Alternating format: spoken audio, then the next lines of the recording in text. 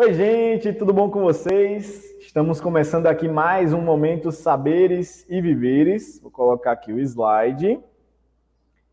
É, meu nome é Felipe Passos, eu sou professor da rede municipal e vou começar fazendo a minha audiodescrição, tá? Eu sou um homem branco de cabelo preto, meu óculos tem uma armação azul, eu não uso barba, estou usando hoje uma camisa preta e por cima dessa camisa um jaleco branco. Aqui atrás de mim tem um painel com a logomarca da prefeitura e do Caminhos da Educação, certo? Vamos ver qual é o tema de hoje? O tema de hoje, na nossa conversa, é em defesa do SUS.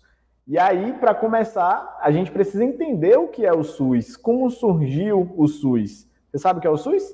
É o Sistema Único de Saúde. Então, SUS é uma sigla, Sistema Único de Saúde, tá bom? Bora lá. O SUS, ele surge lá junto com a Constituição de 1988, embora ele só tenha sido implementado mesmo nos anos 90, né, ele surge como ideia, como é, é, uma descrição escrita do que seria o SUS, junto com a Constituição.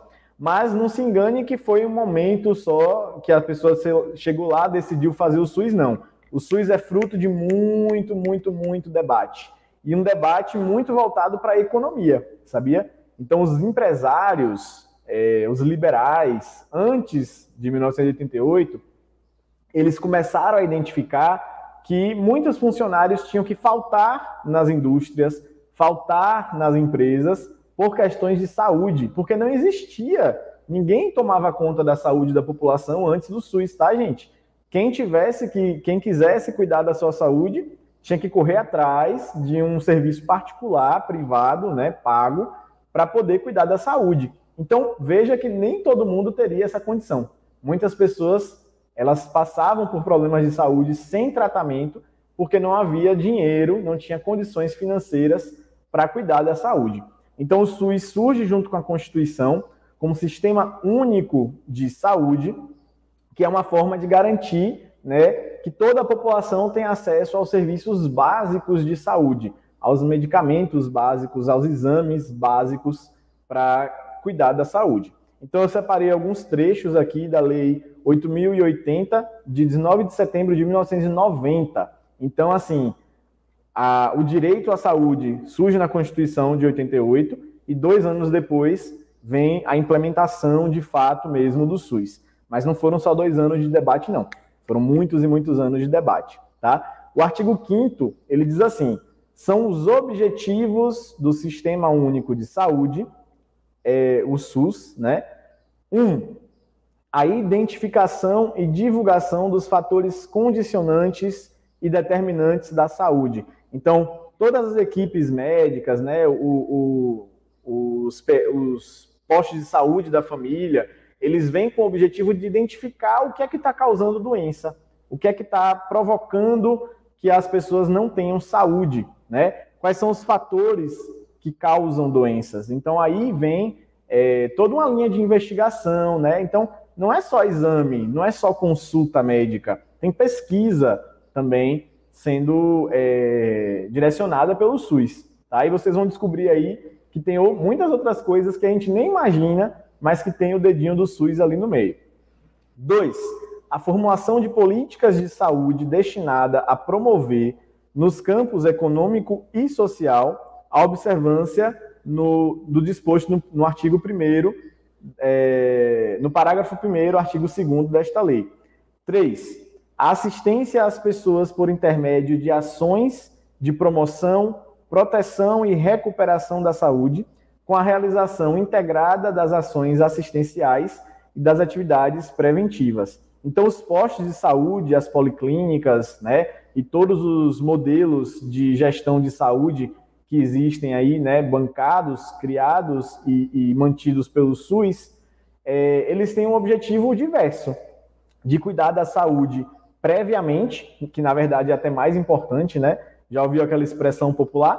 Prevenir é melhor do que remediar. Né? Então, se você previne que a doença aconteça, você tem muito mais êxito, você tem muito mais economia, é, muito mais saúde para a população do que se você pega a pessoa que já está doente para tratar. Você vai gastar muito mais, você vai ter uma debilidade muito maior da saúde dessa pessoa, né? Ela vai ter a, uma, uma potencialização da doença se a doença já for tratada e não prevenida.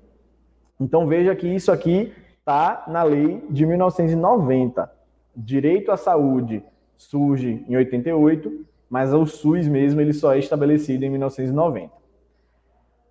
Bom, é, o SUS ele é muito criticado. Isso é verdade, isso é um fato, né? Os próprios usuários criticam, os próprios usuários identificam que existem erros ali, né? No entanto, o SUS ele é um projeto modelo em saúde pública. É considerado o maior e talvez o melhor programa de saúde pública do mundo. E é aqui, é nosso, é brasileiro. Aí você pode estar se questionando, é, mas, poxa, tem tanto defeito, né? Tem tanta coisa que falta no SUS, tantos serviços que são deficientes ainda. Como é que ele é o melhor do mundo?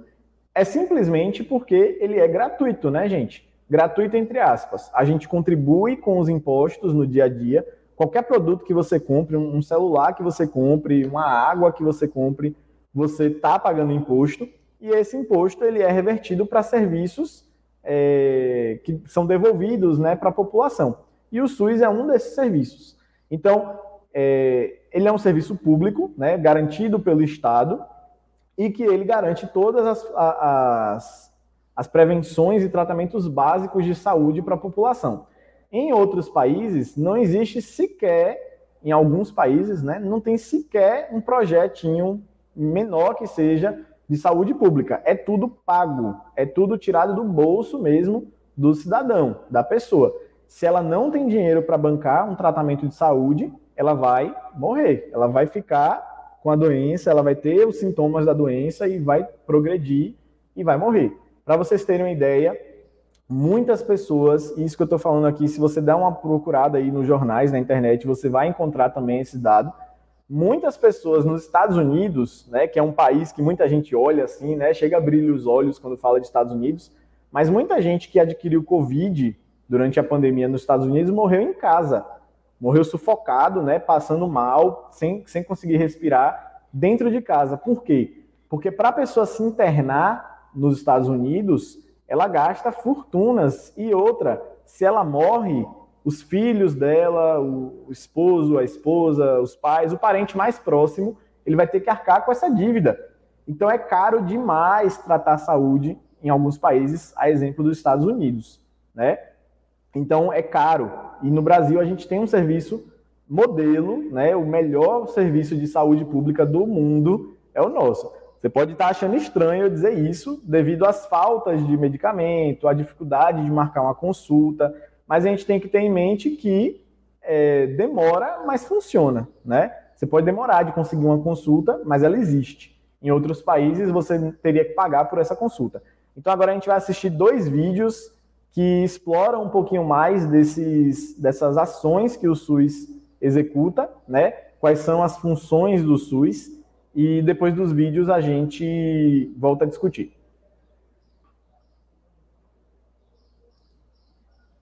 Você já pensou como seria enfrentar uma pandemia no Brasil se não fosse o SUS? Em 2020 e 2021, um monte de gente passou a defender a saúde pública mas não é de hoje que o Sistema Único de Saúde tem uma importância crucial na vida dos brasileiros e das brasileiras. Agora eu vou falar sobre boa parte do que o SUS faz, e não é pouco, e sobre como ele está presente na nossa vida todos os dias, mesmo de quem paga plano. Antes disso, para não perder os nossos conteúdos, inscreva-se no canal do YouTube do Brasil de Fato e ative o sininho para ser notificado das novidades.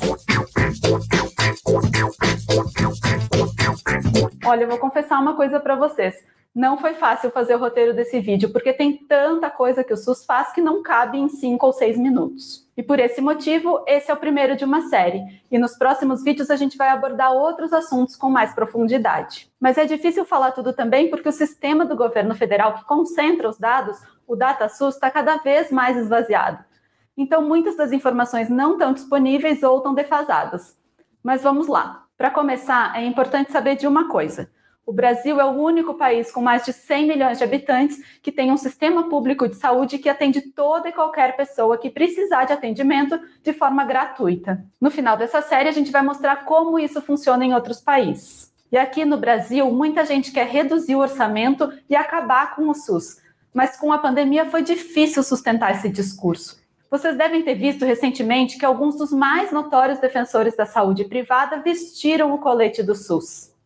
Não é à toa. Eles sabem que sem o SUS a gente não teria atendimento para a maioria das vítimas da Covid, não teria vacina, não teria plano de imunização, leitos, equipamentos de ponta, oxigênio. E aí vocês vão me dizer que muitas dessas coisas faltaram no meio da pandemia. E é verdade. Mas a gente vai falar disso daqui a pouco.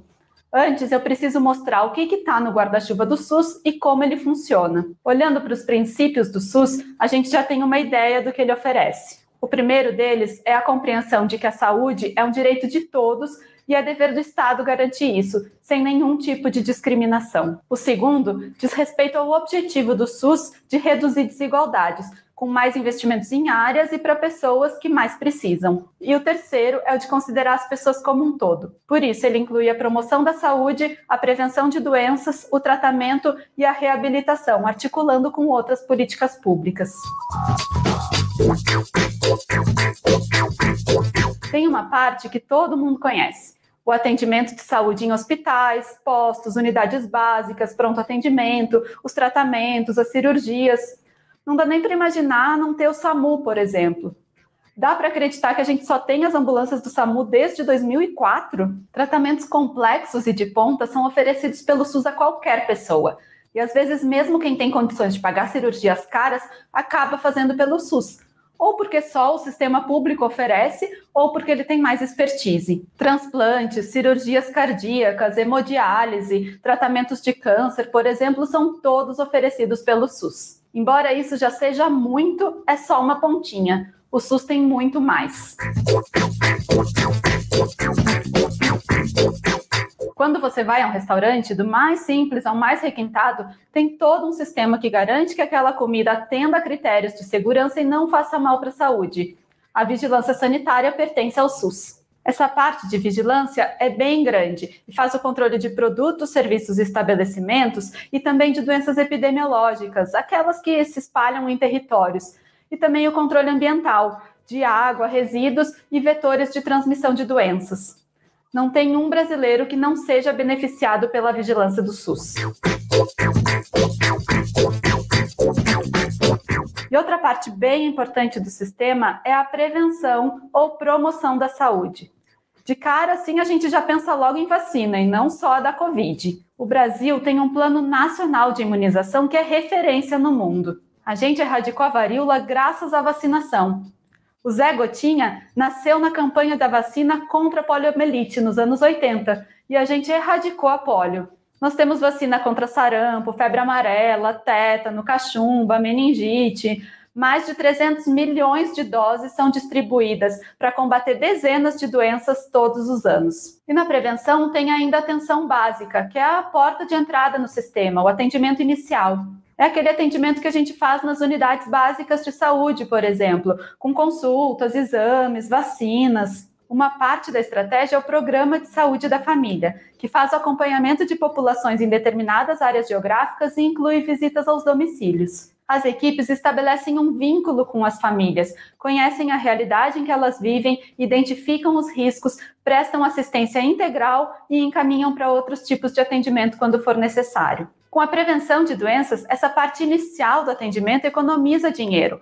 É muito mais barato acompanhar e prevenir do que tratar doenças quando elas já estão graves. Quando a gente vai na UBS, se precisar de um remédio, é muito grande a chance de ele ser disponibilizado gratuitamente pelo SUS inclusive para o tratamento de doenças crônicas. Tem muita gente que precisa tomar remédio todo mês e não teria como se não fosse a farmácia do SUS. Algumas doenças, inclusive, têm tratamento apenas pelo sistema público. É o caso do HIV, da hanseníase e da tuberculose. E tudo isso chega a qualquer lugar do Brasil. Você já deve ter visto, até na campanha de vacinação da Covid, profissionais da saúde chegando de barco em comunidades ribeirinhas, por exemplo. O SUS está em territórios indígenas, no sertão nordestino, na periferia de São Paulo, em grandes centros urbanos. tá? No interior do Rio Grande do Sul e no interior do Amazonas. Aliás, em municípios menores, é muito mais provável que você consiga atendimento pelo SUS do que pela saúde privada. Isso, tudo que eu falei aqui, ainda não dá conta de abranger tudo que o SUS faz.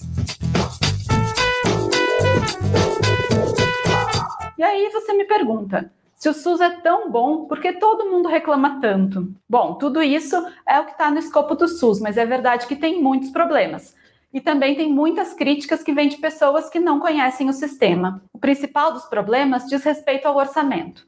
Como é fácil de imaginar, fazer tudo isso não é barato. E o orçamento do SUS tem perdido participação nas receitas da União, principalmente depois da aprovação do teto de gastos no final de 2016 os gastos com serviço público de saúde caíram de quase 16% da receita em 2017 para 13% em 2019. Ou seja, se o SUS não está tão bom quanto deveria, isso significa que ele precisa de mais investimentos, não menos. Mas também tem o fato de o Brasil ser um país gigante. Dar conta de toda essa estrutura não é simples. Por isso, o SUS tem participação do governo federal, dos estados e dos municípios e é com esses últimos que fica a gestão dos serviços. Esse vai ser o assunto do segundo vídeo dessa série, quando eu vou falar um pouco mais sobre a organização e o orçamento do SUS, como surgiu o sistema e quais os interesses envolvidos. E o terceiro, como eu comentei antes, é sobre os sistemas de saúde ao redor do mundo e as suas semelhanças e diferenças em relação ao nosso.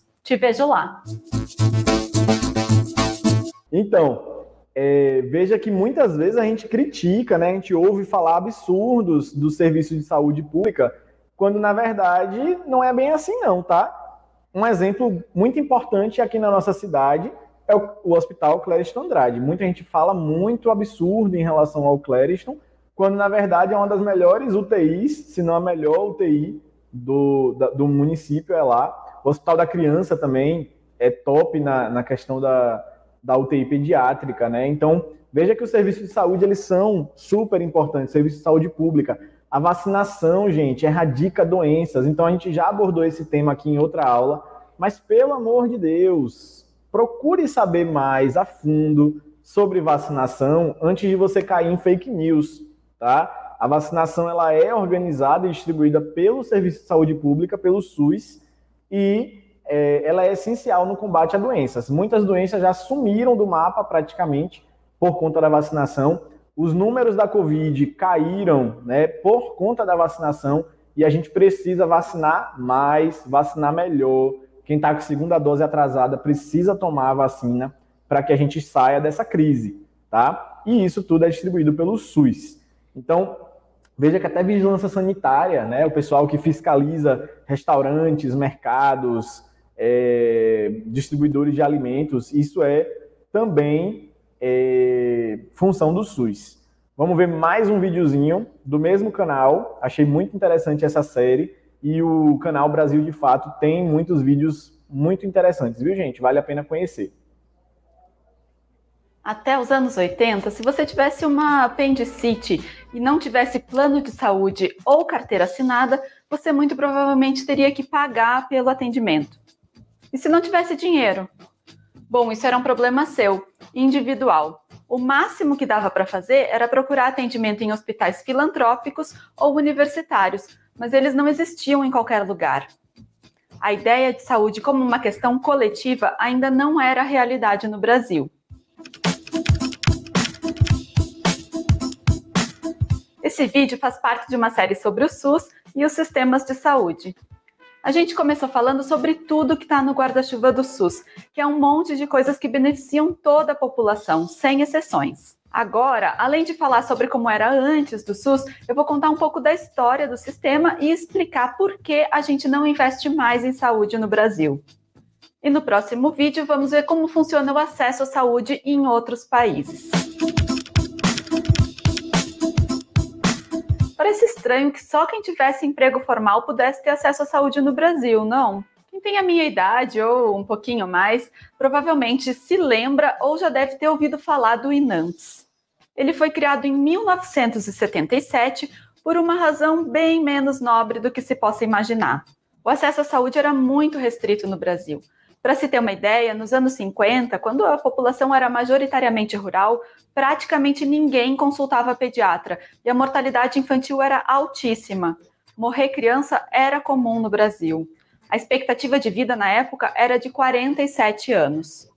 Mas teve uma migração muito grande do campo para a cidade nos anos 60 e 70 foi também uma época de industrialização e muitas dessas pessoas que chegavam na cidade iam trabalhar em fábricas e em empresas. Só que quando elas ficavam doentes, e isso era muito mais frequente porque não tinha acesso à saúde, elas faltavam ao trabalho e paravam a produção. Os empresários começaram a ficar incomodados com isso e pressionaram para criar um sistema de atendimento de saúde para os trabalhadores.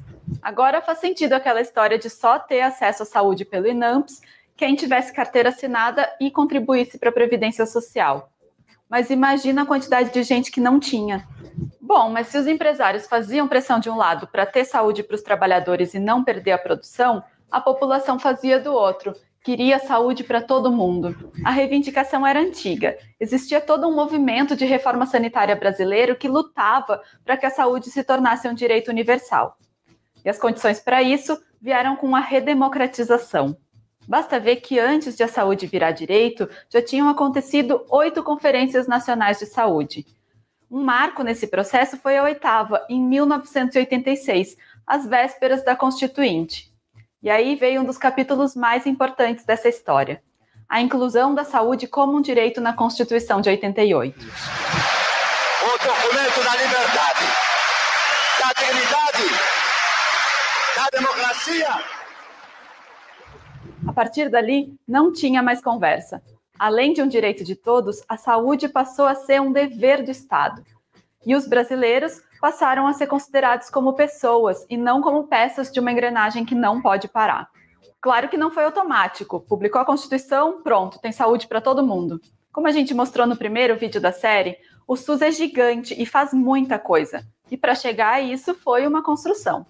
O Sistema Único de Saúde foi criado de fato em 1990 por uma lei que regula os sistemas de saúde e torna concreto aquilo que aparecia na Constituição. Às vezes a gente reclama do que falta no SUS, mas eu me pego pensando que tudo que a gente tem hoje faz parte de um sistema que só tem 30 anos. A resposta rápida é que somos nós, pelos impostos. E é verdade. E é por isso também que a gente tem que rever esse discurso de que qualquer imposto é ruim e focar em cobrar os impostos certos de quem pode pagar mais. Mas isso é assunto para outro vídeo. Então, voltando aqui, é a arrecadação dos governos que financia o SUS, mas não pode ser de qualquer jeito. Existe uma lei específica para falar disso, de 2012. Segundo ela, os municípios e o Distrito Federal devem aplicar na área pelo menos 15% do que arrecadam no ano e os estados 12%. Já a União empaca no teto de gastos. A PEC do teto, que na época também foi chamada de PEC da morte por causa dos impactos sobre a vida da população no Brasil, foi uma mudança constitucional feita em 2016. Ela limitou os gastos do governo federal na área social, atacando áreas extremamente importantes, como a saúde. Antes dessa PEC, pela lei, o valor mínimo que o governo federal deveria investir em saúde também era vinculado à arrecadação, como nos estados e nos municípios. A partir de 2017, a regra mudou. Agora, os investimentos em saúde devem ser o mesmo valor que foi gasto no ano anterior, corrigido só pela inflação. Daí se deduz que o Brasil continua investindo o mesmo valor em saúde, ano após ano, mesmo que a economia melhore. Só que a população continua crescendo e envelhecendo. Na prática, então, o que acontece é que a cada ano a gente tem menos investimentos em saúde por pessoa no Brasil. Bom, conhecendo essa história, a gente pode ter uma ideia de por que se pede tanto a revisão do teto de gastos.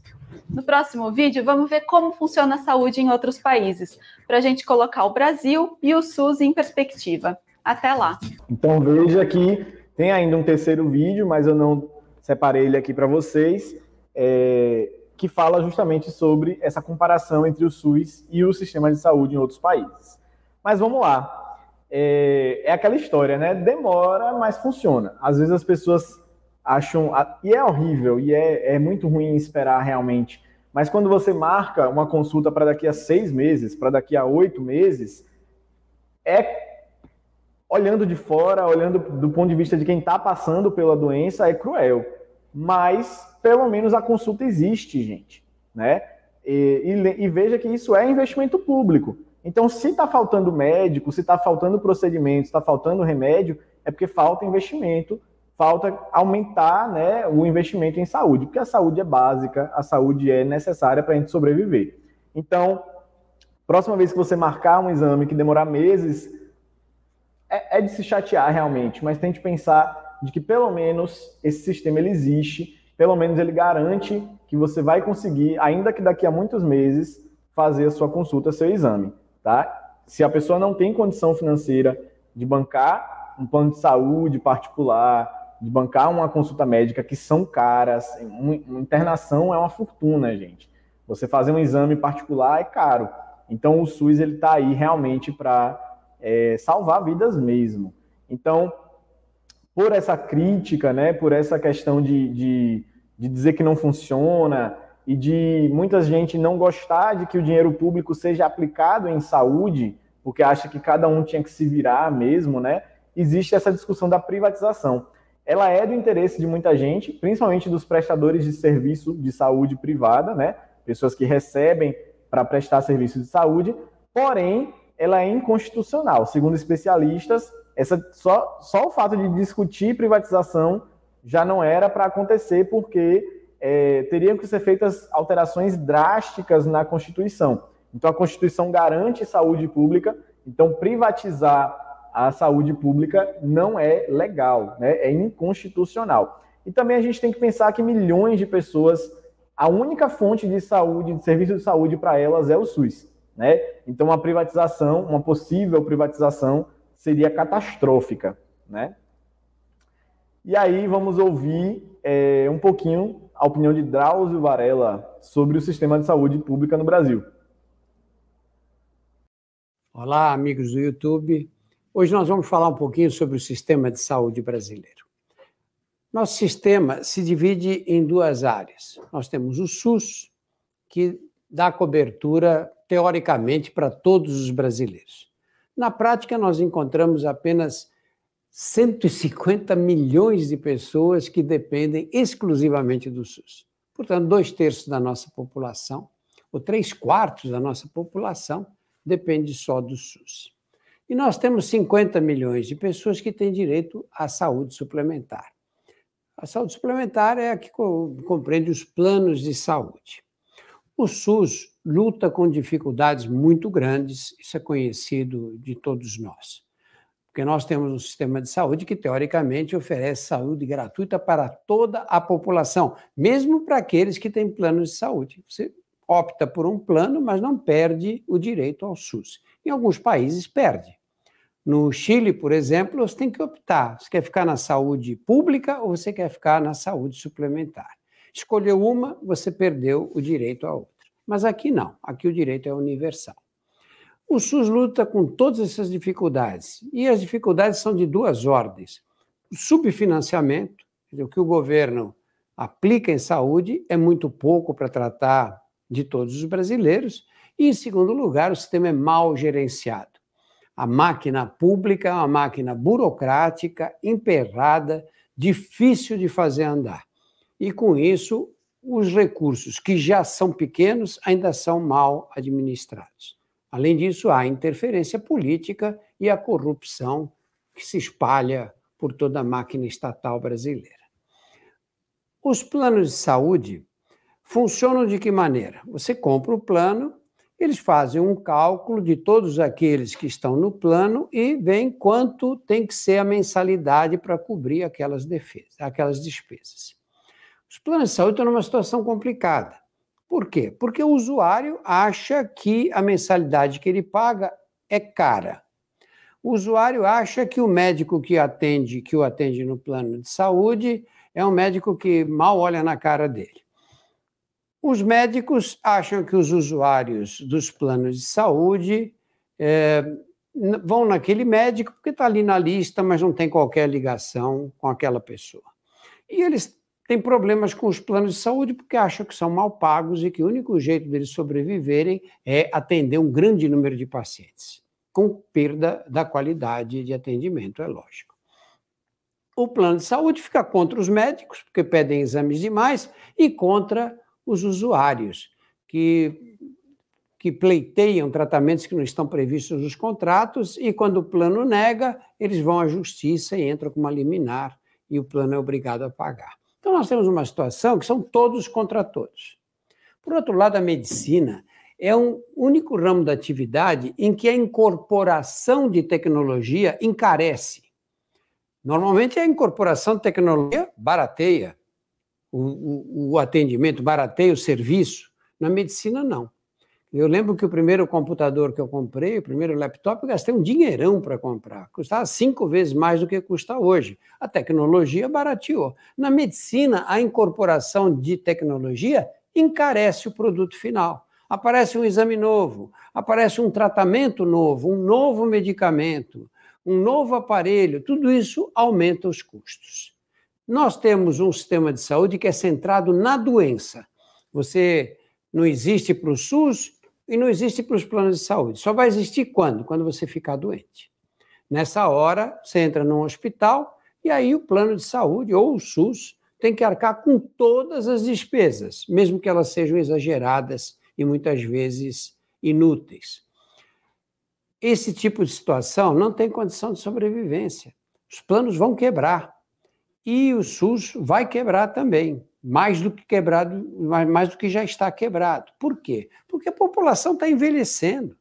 A faixa populacional que mais cresce é aquela acima dos 60 anos de idade justamente aquela que vai ter problemas crônicos de saúde, problemas cardiológicos, vasculares, derrames cerebrais, diabetes.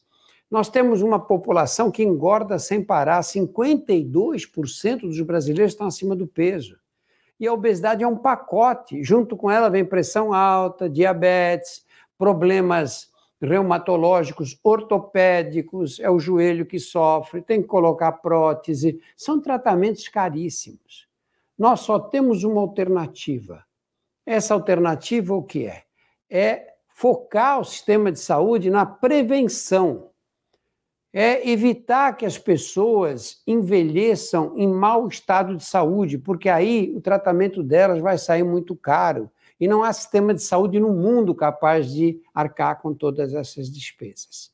Ou a gente encara esse problema de uma população sedentária, que não faz exercício de jeito nenhum, que come mais do que devia e que envelhece, ou nós fazemos, convencemos as pessoas de que elas precisam fazer exercício, de que elas não podem comer tudo que lhes é oferecido, que elas têm que se movimentar, ou então não vai haver dinheiro no país para arcar com os problemas de saúde dos brasileiros.